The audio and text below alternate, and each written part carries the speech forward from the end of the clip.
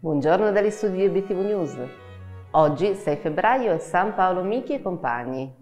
Paolo Miki è il primo martire giapponese, o meglio primo giapponese caduto martire per la propria fede cristiana. Infatti non si tratta di un missionario caduto in Giappone, ma di un cristiano del Giappone, esemplare nella vita ed esemplare soprattutto nella morte. Oggi è anche la giornata mondiale contro le mutilazioni genitali femminili.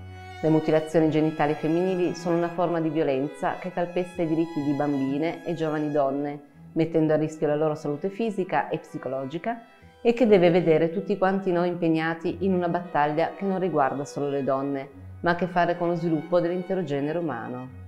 Almeno 200 milioni di ragazze e donne vivono oggi nel mondo con le cicatrici di qualche forma di mutilazione genitale subita nel corso della propria vita.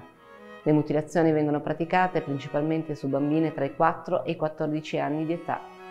Tuttavia, in alcuni paesi vengono operate bambine con meno di un anno di vita, come accade nel 44% dei casi in Eritrea e nel 29% dei casi nel Mali, o persino neonate di pochi giorni come nello Yemen. La pratica può causare complicanze a breve, medio e lungo termine, tra cui dolore cronico, infezioni, aumento del rischio di trasmissione dell'HIV, ansia e depressione, complicazioni al momento del parto, infertilità e nei peggiori casi la morte.